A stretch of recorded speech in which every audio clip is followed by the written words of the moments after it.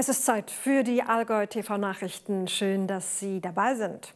Unser Blick auf die Themen am Dienstag. Ab in den Süden der Allgäu Airport vor den Pfingstferien. Erster Platz geht nach Kempten Bayerischer Integrationspreis 2023 Erdsportprojekt und Begleitung auf dem letzten Weg. 30 Jahre Hospizverein Kempten Oberallgäu. Das Wetter im Allgäu, der Regen lässt in der Nacht nach, morgen weitgehend trocken. In zwei Wochen starten in Bayern die Pfingstferien. Die Urlaubszeit steht also kurz bevor.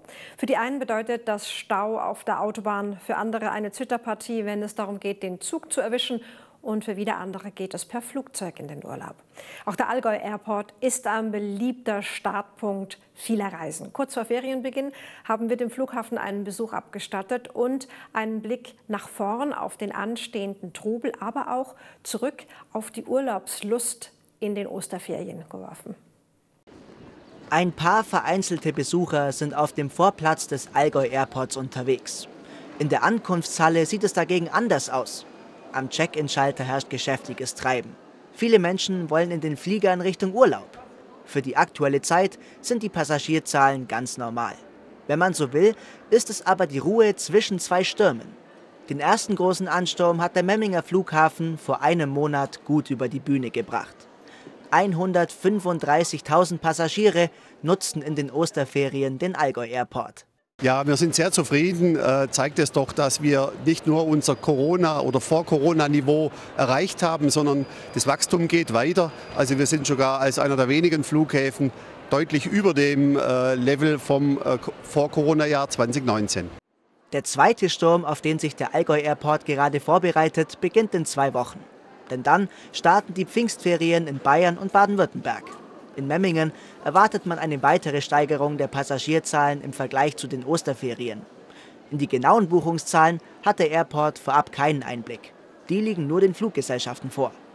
Einzig die Parkplatzreservierungen können eingesehen werden. Aber schon die reichen, um Geschäftsführer Ralf Schmid die Sorgenfalten auf die Stirn zu treiben. Weil wir tatsächlich äh, feststellen, die Passagiere und die Nachfrage ist sehr, sehr groß. Äh, wir haben viele Flüge, aber wir haben halt auch nur begrenzt Kapazitäten hier am Flughafen. Und deswegen hoffen wir, dass die Passagiere alle sehr rechtzeitig, sehr frühzeitig bei uns ankommen, dass sie in Ruhe idealerweise ihren Parkplatz online buchen, dass sie nicht einen Parkplatz suchen müssen und dass sie rechtzeitig hier sind, weil es kann schon sein, dass man am Pfingsten hier und da die ein oder andere Warteschlange haben. Wir sind zwar immer noch der Flughafen der kurzen Wege, aber manchmal muss man ein bisschen Geduld mitbringen. Besonders hoch ist die Auslastung in diesem Jahr bei Flügen an die ukrainische Grenze wie nach Chisinau in Moldawien.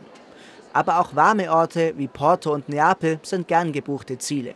Vor allem natürlich in den Ferien. Aufgrund der Erfahrungen in den letzten Jahren für den Allgäu Airport keine Überraschung. Ostern, Pfingsten und die Sommerferien mit Weihnachten, die Weihnachtsferien zusammen. Das sind eigentlich unsere Peaks, das sind unsere anspruchsvollsten, äh, ja, ich sag mal Zeiträume, wo wir eben mit geballten Besucheransturm rechnen müssen, weil dann eigentlich die Schulferien sind und eben Familien mit Kindern eben auch nur da fliegen können. Und deswegen ist es immer eine besondere Herausforderung.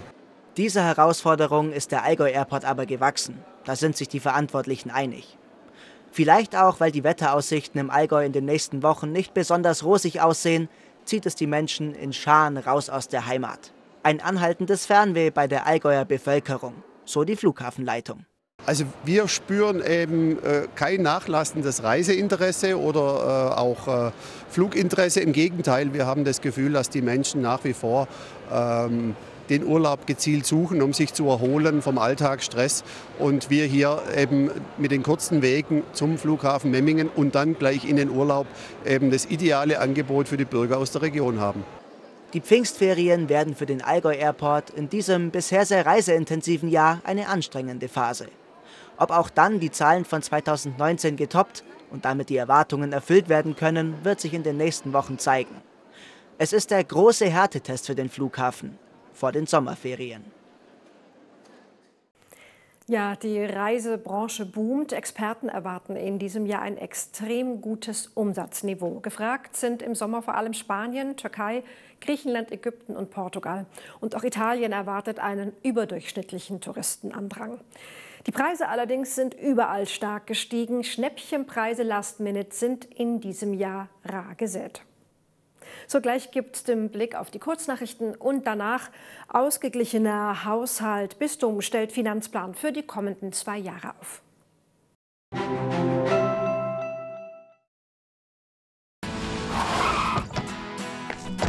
Wir sind heute in Kempten bei Dekra, um unser Auto fit für den Sommer zu machen. Und das können Sie auch. RSA und Dekra bieten im Mai kostenlose Sicherheitschecks in Kempten, Sonthofen und Lindau. Denn besser Sie starten sicher in die Urlaubssaison. Alle Termine und Infos finden Sie auf rsa-radio.de. Wir sehen uns! Dekra. Mit Sicherheit gute Fahrt. Unsere Heimat, die Goldsteig-Wald- und Bauernregion, vom Bayerwald bis zum Böhmerwald. Wir Goldsteig-Landwirte verzichten auf Gentechnik und genießen, was echt und gut ist. Unsere naturreine Milch schmeckt man in jedem nussig feinen Goldsteig Emmentaler. Wild, unsere Natur, echt unser Geschmack. Goldsteig Käsespezialitäten. Diesen Samstag am 20. Mai sehen wir uns zum Sicherheitscheck bei Deka in Lindau in der Bregenzer Straße. Bitte melden Sie sich an und reservieren sich Ihren Sicherheitscheck für Ihr Auto. Alle Termine und Infos finden Sie auf rsa-radio.de. Wir sehen uns! Dekra. Mit Sicherheit gute Fahrt. MyClickCard, die exklusive Kundenkarte für das Allgäu und die Bodenseeregion. Viele Vorteile und Sofortrabatte. Hier kaufen, hier sparen. Bei unseren Vorteilspartnern erhalten Sie alle Angebote ein ganzes Jahr lang. Mehr Infos unter www.myclickcard.de. Küchenmeier, die Küchennummer 1 im Allgäu. Bei uns erhalten Sie genau die Küche, die perfekt zu Ihrem Lebensstil passt. Und das mit unserem bekannt guten Service. Versprochen, innovative Küchen in Top-Qualität. Überzeugen Sie sich. Ist Ihnen Ihr Haus zu groß geworden? Die vielen Zimmer und Treppen? Nun wollen Sie sich verkleinern? Rufen Sie uns an. Wir beraten Sie kostenlos und unverbindlich. Pienzenauer Immobilien Allgäu im Herzen von Sonthofen, Bahnhofstraße 16. Zufriedene Kunden haben viele. Wir haben die Glücklichen.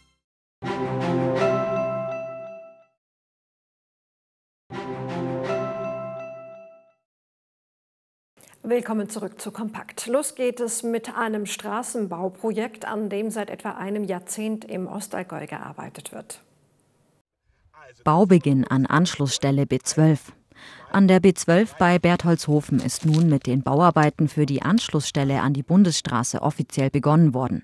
Es ist der letzte Bauabschnitt der Ortsumfahrung Marktoberdorf-Bertholdshofen, der nahegelegenen B16. Die Kosten für diesen Abschnitt liegen bei rund 5 Millionen Euro. Die Gesamtkosten inklusive dem Tunnelbau bei Bertholdshofen belaufen sich auf etwa 74 Millionen Euro.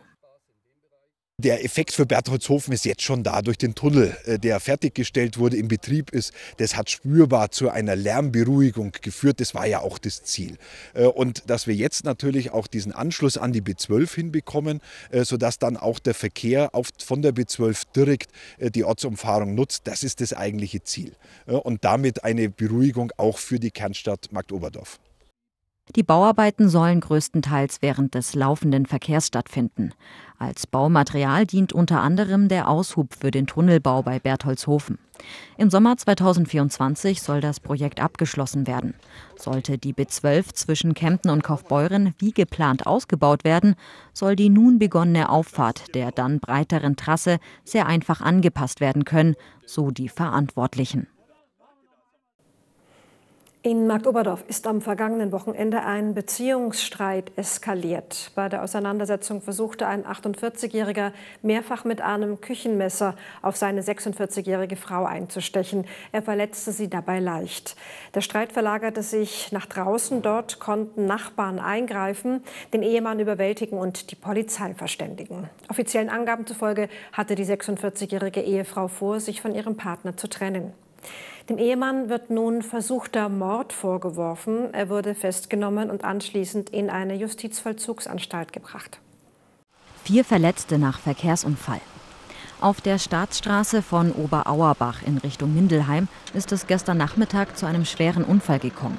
Laut Angaben der Polizei hatte eine 33-Jährige, die zusammen mit ihren zwei Kindern unterwegs war, einem anderen Auto an der Ausfahrt Unterrieden die Vorfahrt genommen. Es kam zum Zusammenstoß. Bei dem Unfall wurden sowohl die Unfallverursacherin und ihre zwei Kinder als auch die 52-jährige Fahrerin des anderen Autos leicht verletzt. Alle Unfallbeteiligten wurden in umliegende Krankenhäuser gebracht. Es entstand an beiden Autos ein Totalschaden in Höhe von etwa 10.000 Euro. Das traditionelle Stadtfest in Memmingen soll in diesem Jahr nicht auf dem Marktplatz stattfinden, so die Allgäuer Zeitung. Neuer Veranstaltungsort ist am Hallhof. Grund für diese Entscheidung ist unter anderem das Steuerhaus am Marktplatz. Das wird derzeit saniert und ist eingerüstet. Somit bräuchte die Bühne, die während des Stadtfestes dort steht, einen neuen Platz, was wiederum weniger Platz für das Publikum bedeuten würde. Mit dem neuen Austragungsort am Hallhof geht die Stadt Memmingen also auf Nummer sicher. Negative Auswirkungen auf das Programm habe die Standortverlagerung keine, sondern eher positive. Dieses Jahr soll es wieder die beliebte Weinlaube geben. Außerdem darf bis Mitternacht ausgeschenkt werden, eine Stunde länger als in den vergangenen Jahren. Und nun zum Sport. Da gibt es wirklich überraschende Neuigkeiten von den Füssner Curling-Frauen. Curling-Nationalteam der Frauen löst sich auf. Die deutsche Curling-Nationalmannschaft der Frauen hat heute ihre Auflösung bekannt gegeben. In einer kurzen Mitteilung auf der Social-Media-Plattform Facebook verkündet das Füssener Team Jensch, dass sie sich entschieden haben, nach dieser Saison getrennte Wege zu gehen. Laut Berichten der Allgäuer Zeitung beenden Kapitänin Daniela Jensch und ihre Schwester Annalena somit ihre aktive Karriere mit sofortiger Wirkung. Diese Entscheidung käme sehr überraschend. Noch vor wenigen Wochen hatte die 41-jährige Daniela Jentsch die Olympischen Spiele in Cortina 2026 als ihr großes Ziel bezeichnet. Für sie sei mit ein Grund für das Karriereende, dass sie zukünftig mehr Zeit mit ihrer Familie verbringen möchte. Neben den Jentsch-Schwestern gehören auch noch die beiden Füssener Athletinnen Emira Abbes und Lena Knapp zum Team. Wie es für die Curling-Nationalmannschaft der Frauen nun weitergeht, entscheidet der Deutsche Curling-Verband. Und von dieser traurigen Nachricht für alle Curling-Fans geht es jetzt zum Wetter, das vielleicht ein bisschen aufheitert, denn es sieht nach all dem Regen endlich nach ein bisschen Frühling aus. Die ganzen Aussichten gibt es jetzt.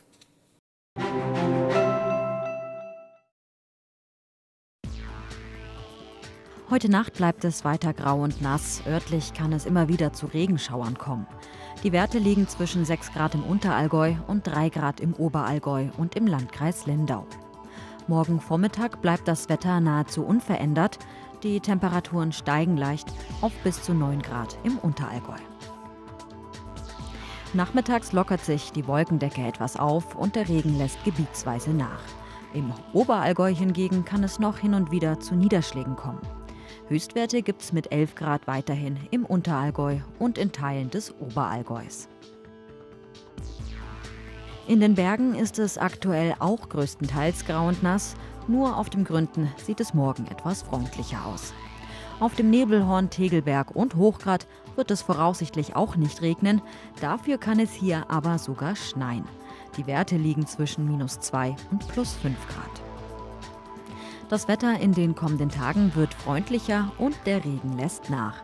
Am Donnerstag gibt es bereits hin und wieder ein bisschen Sonne bei Werten um die 14 Grad. Am Freitag steigen die Temperaturen leicht, es bleibt trocken und freundlich. Am Samstag sieht es ganz ähnlich aus, zudem gibt es Höchstwerte mit um die 18 Grad. Wer unheilbar krank ist und eine palliativpflegerische Versorgung braucht, der kann sich an ein Hospiz wenden. In Kempten zum Beispiel an den Hospizverein Kempten Oberallgäu. Wie viele Hospizvereine lebt er vor allem von ehrenamtlicher Arbeit und dem Engagement vieler Oberallgäuer. Jetzt konnte der Verein sein 30-jähriges Bestehen feiern und sicher auch sich selbst für so viel soziales Engagement. Boris Weltermann berichtet. Dieses Haus unterscheidet sich sehr von einer Pflegeeinrichtung. Im Allgäu-Hospiz in Kempten erleben Menschen ihre letzten Tage. Das, was nicht mehr umzukehren ist, wird hier so angenehm wie möglich gemacht. Die Patienten, die hier nicht Patienten, sondern Gäste heißen, werden hier bis zu ihrem Lebensende begleitet. Der Weg in ein Hospiz ist nicht einfach. Dass es nicht mehr weitergeht, ist für kaum jemanden leicht zu verstehen und zu akzeptieren. Nicht für die Betroffenen und auch nicht für deren Angehörige. Das weiß Susanne Hofmann aus jahrelanger Erfahrung. Es ist oft von den Angehörigen das Gefühl, ich, ich ähm, gebe meinen Angehörigen ab oder ich kann es nicht mehr leisten. Aber es ist einfach eine Versorgung von einem schwerstkranken Menschen zu Hause, von einem Laien, ist man einfach überfordert und das darf man eingestehen und äh, man kann keine Nacht mehr durchschlafen. Hier darf man die Verantwortung abgeben. Hier sind die Menschen sehr gut betreut. Neben den stationären Angeboten bietet der Hospizverein Kempten Oberallgäu auch eine ambulante Begleitung an. Birgit Prestel leitet sie. Mit ihrem Team ist sie für schwerstkranke Menschen da, die zu Hause sterben wollen und auch für deren Angehörige. Das ist ein Angebot für Menschen, die wirklich schwerst krank sind, wo wissen, dass die Lebenszeit begrenzt ist und vor allem auch für die Angehörigen, dass die gestützt und gestärkt werden, dass sie diesen letzten Lebensweg zu Hause zusammen leisten können. Und dazu braucht es halt verschiedene Bausteine. Das ist einerseits das Pflegerische, was wir als Hospizverein jetzt nicht anbieten, aber andererseits auch zum Beispiel vor allem einfach diese psychosoziale Begleitung zu Hause, dass man die Menschen stärkt und stützt, dass sie das zu Hause leisten können. Seit nunmehr 30 Jahren bietet der Hospizverein Kempten Oberallgäu Sterbebegleitung und Trauerbegleitung an. Zehn Jahre später entstand hier eines der ersten Hospize in Bayern.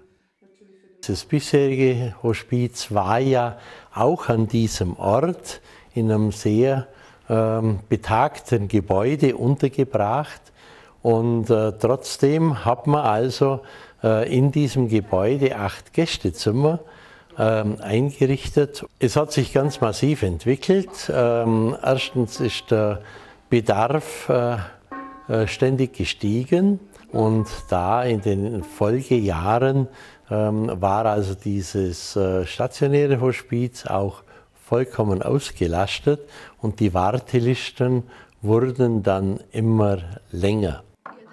Seit 2020 gibt es das neue, größere Allgäu-Hospiz. 16 Gäste können hier betreut und begleitet werden. Jeder Tag ist für alle, die hier leben und arbeiten, eine neue Herausforderung. Niemand weiß, wie ein Tag endet oder ein neuer beginnt. Die professionelle Begleitung durch erfahrene Fachkräfte und viel Herzblut helfen, das letzte Stück des Weges gehen zu können.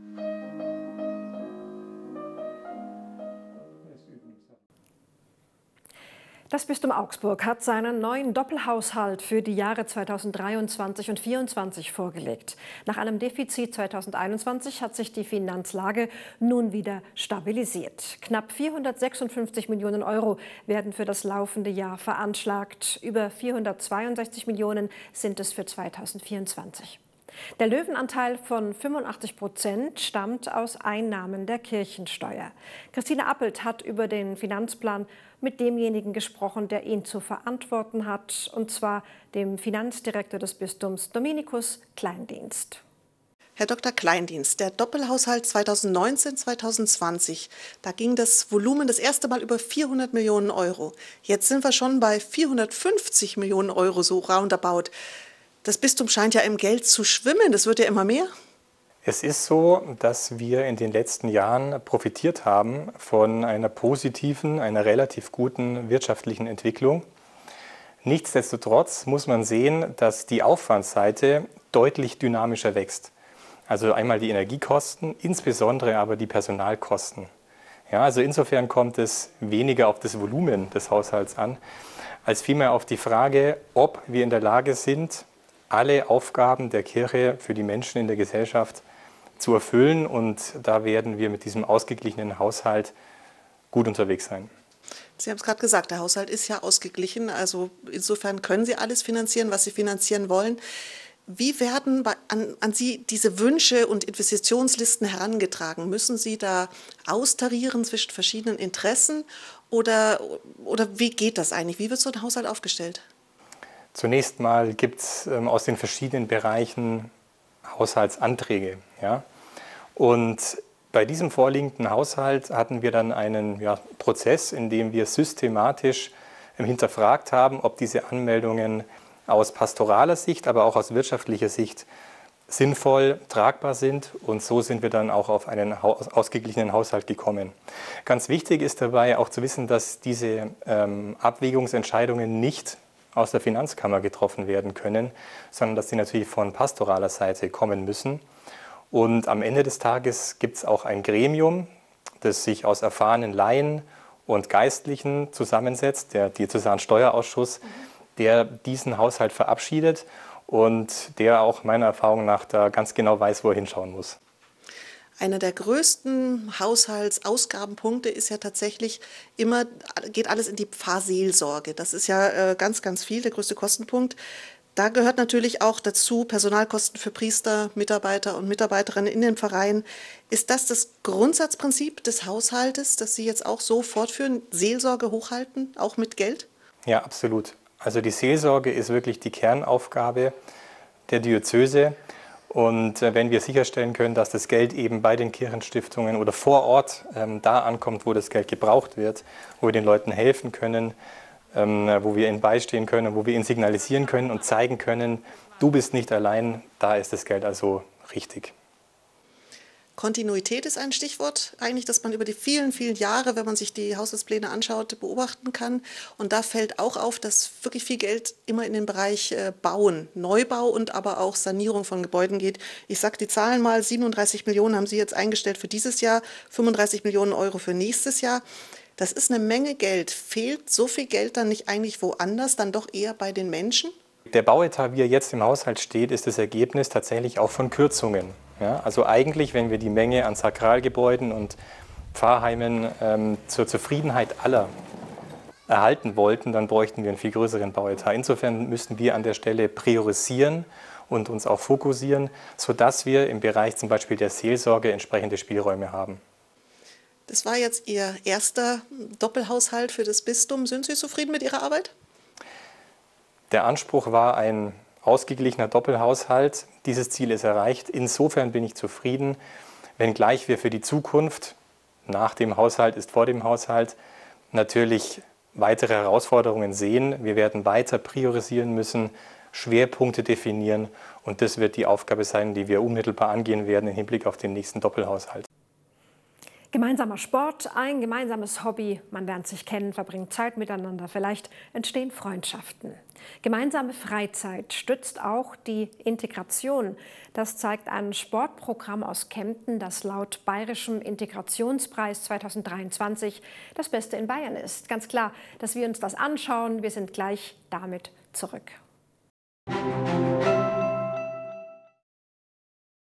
Willkommen bei der Demenzwohngruppe für selbstbestimmtes Wohnen in Bolsterlang. Wir bieten professionelle Pflege in einem exklusiven Ambiente. Mehr Informationen erhalten Sie unter www.hamacher-gesundheitsdienste.de. Pferd Wels von 18. bis 21. Mai. 220 Aussteller, CSMA Einstern Springturnier, Zuchtvorführungen, Social Media Stars sowie vier Shows Nacht der Pferde. Tickets auf Pferd wales.at. Versammlung, Diskussionsrunde, Trauerfeier, Präsentation, Schulung oder Studioaufzeichnung. Wir sind Ihr Partner für Streaming und Aufzeichnungen. Interessiert? Melden Sie sich unter streaming at allgäu-tv.de.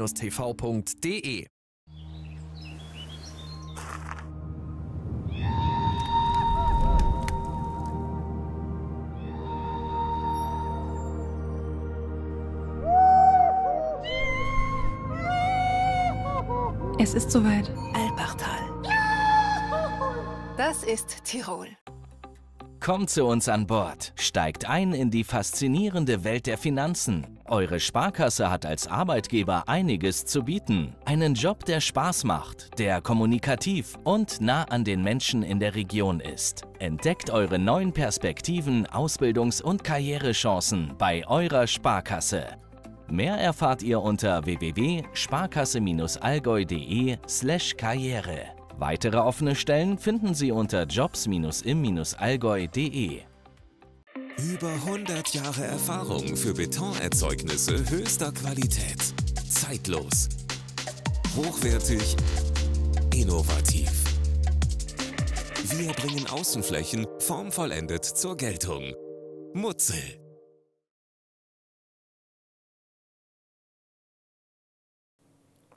Die Gewinner des Bayerischen Integrationspreises 2023 stehen fest. Platz 3 geht nach Dachau, Platz 2 nach Nürnberg und Platz 1 nach Kempten. Das Motto dieses Jahr war Integration in der Freizeit, gemeinsame Hobbys verbinden. Das Kemptener Projekt bietet einen geschützten Raum zum Ausprobieren verschiedenster Sportarten. Wir durften eine Yogastunde begleiten. 4000 Euro Preisgeld für den Sozialdienst muslimischer Frauen Kempten. Ihr Projekt zum gemeinsamen Sport machen konnte sich bei dem Bayerischen Integrationspreis 2023 den ersten Platz sichern. Wir hatten das uns gar nicht so vorgestellt, dass wir den ersten Preis bekommen, aber jetzt ist es soweit. Wir haben den ersten Preis und, und ähm, es ist sehr schön. Ein Grund zur Freude. Insgesamt haben sich 97 Aktionen und Projekte für den Preis beworben. Für den Sozialdienst muslimischer Frauen ist die Preiskrönung auch Wertschätzung für die Arbeit, die sie tun. Ähm, Sozialdienst muslimische Frauen hat das Ziel, die Menschen zusammenzubringen und ihnen äh, mehrere Angebote zu machen, wie zum Beispiel äh, Integration vor Ort zu stärken oder Austausch zu stärken oder das Zusammenleben vor Ort äh, gemeinsam zu gestalten.